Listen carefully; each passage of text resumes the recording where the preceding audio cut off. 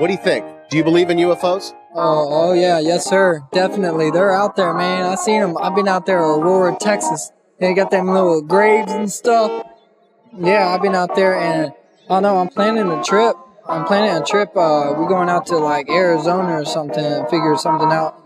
Or not Arizona. What was it? Yeah, it was Arizona, right? Air, the Air Force One where they found all that stuff. I got pictures of Aurora. I seen grave sites. They're out there, man, and I, I'm flying in the plane. I'm always hallucinating, but who really knows what I'm looking at? You know what I'm saying? Yeah. Okay. Um, well, but there's no proof of this. Just people's accounts.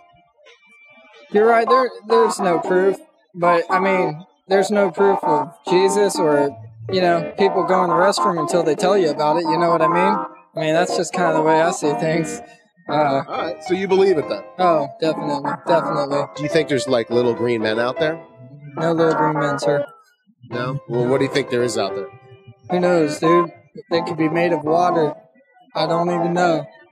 Water? Water, man. You heard the man. Water. They could be made of anything extraterrestrial. Extraterrestrial, you mean? That the extraterrestrial. E- extraterrestrial. Extraterrestrial. There you go. They're out there,